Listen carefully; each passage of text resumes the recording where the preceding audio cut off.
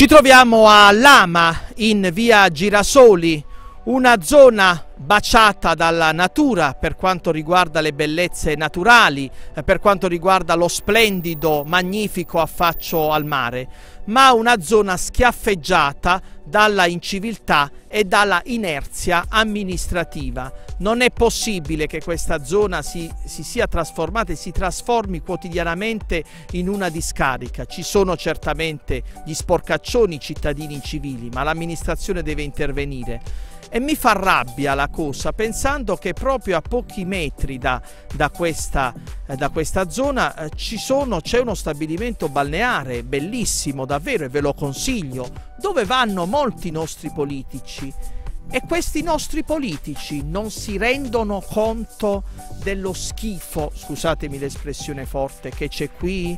Non si rendono conto delle discariche a cielo aperto? E gli amministratori comunali non vedono o fanno finta di non vedere? Cosa aspettano ad intervenire? Poi c'è il problema dell'erosione della costa, vedete? La, proprio tutto, il, man, tutto il, il, tratto, il manto stradale è stato negli anni eroso, no?